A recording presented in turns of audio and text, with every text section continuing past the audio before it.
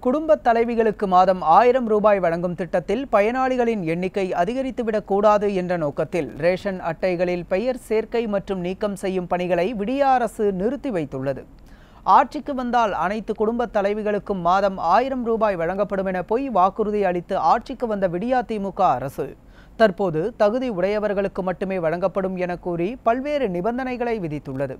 இது ஒரு புறம் இருக்க குடும்ப தலைவிகளுக்கு ஆயிரம் ரூபாய் வழங்கும் திட்டத்தில் பயனாளிகளின் எண்ணிக்கை அதிகரித்துவிடக்கூடாது என்ற நோக்கத்தில் ரேஷன் அட்டைகளில் பெயர் சேர்க்கை மற்றும் நீக்கம் செய்யும் பணிகளை விடிய அரசு நிறுத்தி வைத்துள்ளது.